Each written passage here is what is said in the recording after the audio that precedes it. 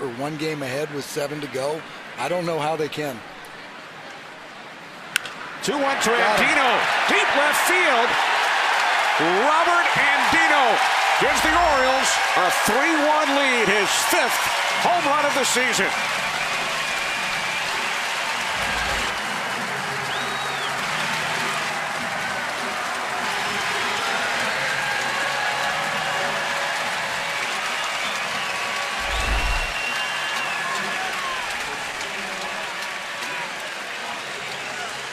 Scherzer missed his spot probably by two feet or so. They wanted it down and away. This ball crept up and in. Give Andino a lot of credit right there. Shortened up the stroke, got the barrel of the bat. Ball jumped out of this yard.